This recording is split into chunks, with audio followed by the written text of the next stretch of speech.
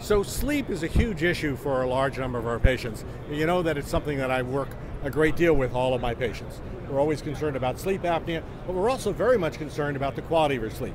Because we know that if you're not getting enough sleep, we know that if you're not getting enough of the right type of sleep, which includes slow wave sleep and REM sleep, and not getting the adequate stage of that, you're going to end up in pain.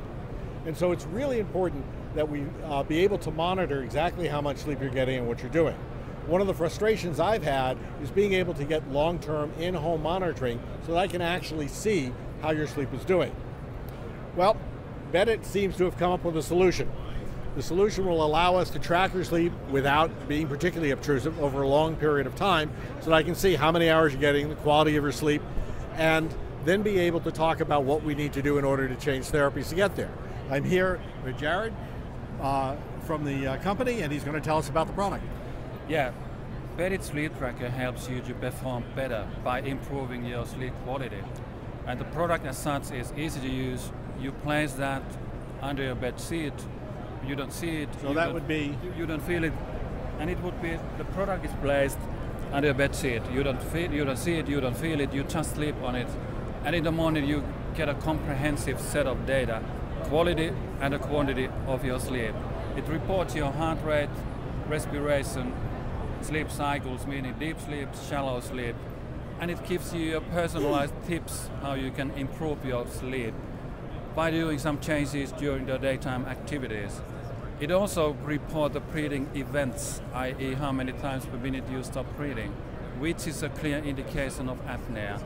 So in a nutshell, it will improve the quality of your life. So this is going to allow us to monitor you fairly unobtrusively. Uh, the device uh, includes what in it? So you've got a, a tracker during the day, yeah. activity level? If you want to have a 24-7, right. you use a tracker during the day and use a Beddit sleep tracker during the night, and then you have a 24-7 data. And you can check, Beddit will tell you how the changes in your daytime habits will have impacted your sleep quality. So the accuracy of this, you've done research, tell us about that. Beddit is a clinically validated product with tested against medical way of measuring sleep. And we have over 99% match, meaning you can trust on the data that it provides, which is the most important thing, whatever device you choose to use. So this is a huge deal because the Fitbits and a lot of the other wearables, they don't give me the accuracy of the data that I need to be able to legitimately diagnose and help you in terms of your sleep uh, and determine exactly how much activity you're during the day. So by combining both the, the wearable device and this device in your bed, we get a lot of information. How active are you during the day?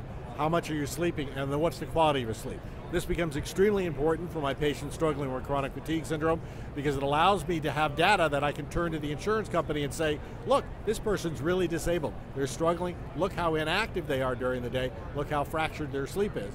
And then what we can do therapeutically in order to help you get a better night's sleep and also help you wake you up more during the day. So can you show us the product a little bit? Well, the product as such is a force sensor within a fabric cover. Very easy to set up on top of your mattress under a bed sheet. You plug it in to the main wall and that's it. You download the app from Apple Store, Google Play, nothing else is needed. Just you to lie on top of the sensor, get a better sleep, improve your life quality. And how much are you selling the device for? Retail price is 149 euros. And the device is available in the US or not yet? Uh, it's available globally in US, for example, Amazon, Apple stores, okay. Beddit online. Great. All right, well, thank you very much. I appreciate your time. And uh, another tool that can help us help you. Thanks very much.